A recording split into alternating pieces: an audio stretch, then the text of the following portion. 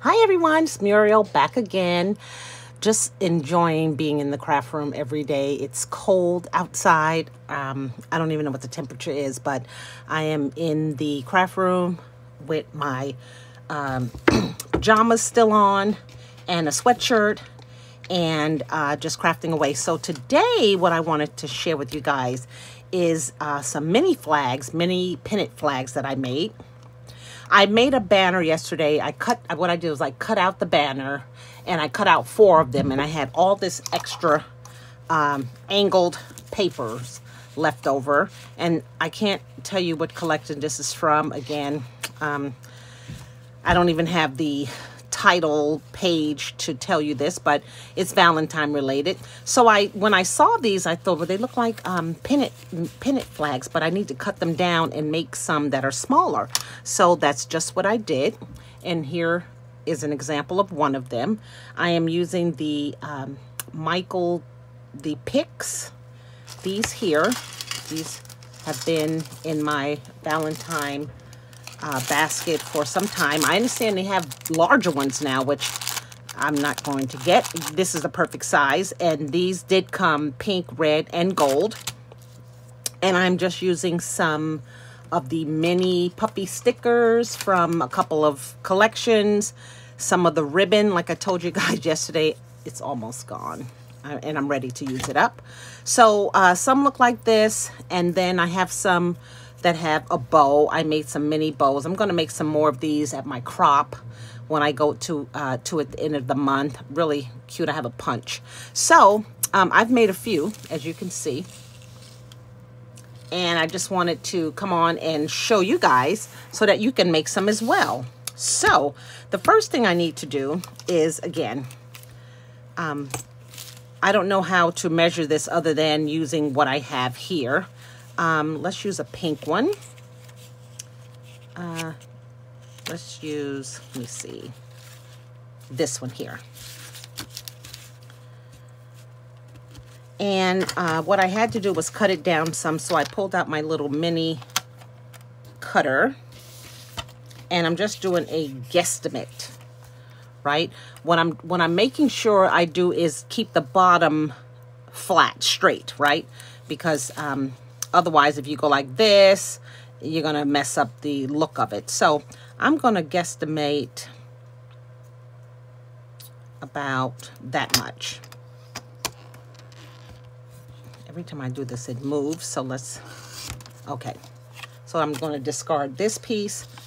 And there I have my beginning of my pennant. The next thing I do is I take this large orange stick and I'm just going to curl this edge some, right? Like so. And then I'm going to, um, I think that's about where I want it. So then once I get the, the curl from the stick, then I pull out one of the, um, what are these called? The wooden sticks and butt it up against the top.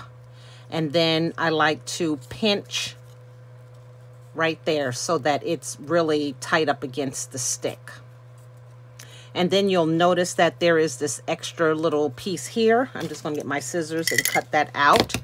You know, if you have a pennant die, then you're set. If you have, um, Scrap Diva may have something, um, then you're set. But this is if you have to make one from scratch like me this is what I did. So you see I have it just like this.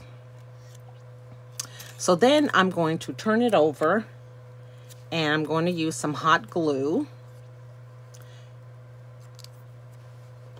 I put my glue, oh goodness, close to the stick. And then I also put some right along the edge of the outside paper.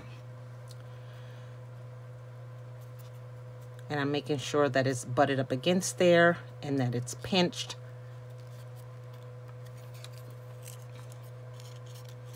And that it stays closed, shut.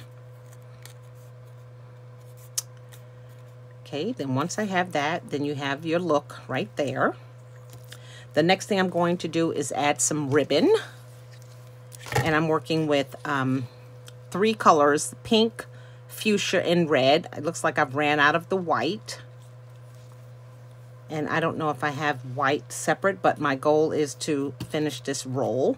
So I'm kind of guesstimating, let's see, one, two, three, maybe four inches. Okay. And then the trick to this is kind of um, put two, just kind of put the three together or one on top of the other. And then what you're going to do is you're going to fold it over the top like so and staple it. So you can kind of see like there. So I'm going to get my tiny attacher and I'm just going to put it right there and then I'm going to staple it and press it because I want it to really hold that ribbon. And there you go. And that's how it looks on that side. Okay, then from here you are ready to decorate. Again, you can see some I used, um, I'm just using puffy stickers and to cover up the staple, I used a heart or you could use a bow. So um, here's my puffy stickers. I just have so many of them. I am sick of them too. I'm ready to be at the end. And then I have some words here that I may want to use. I have some these stickers, puffy stickers, and these. So that's the hardest part, deciding what to use. Um, I did have one I kind of like that look there. I did that when it has the uh, rainbow and the heart. So let's do another one of those. But I think this time I'm going to use the lips. So if I was to put the rainbow here, and then, um,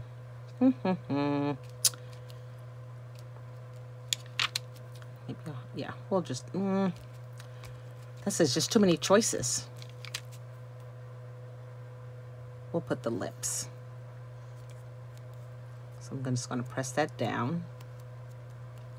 And then I'm going to find a word. These are, um, I don't think they will stand out, so I'm going to find a, um, I also found some words that I had over here by Pink Fresh Phrases and Stickers.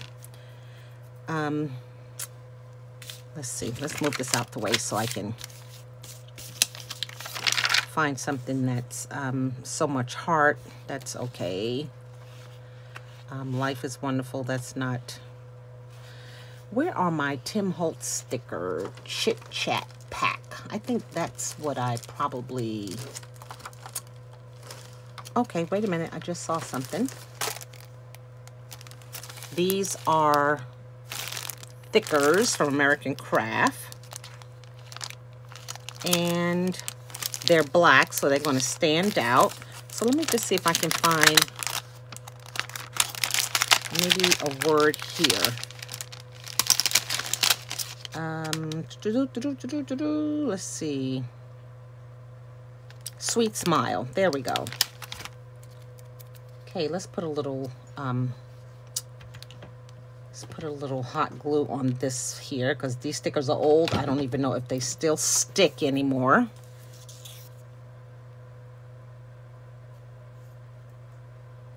Let's see.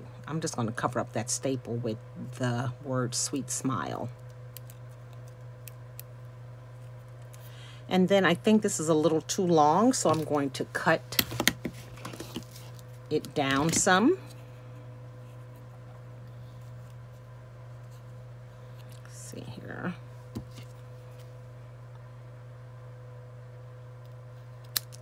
There we go. There you go.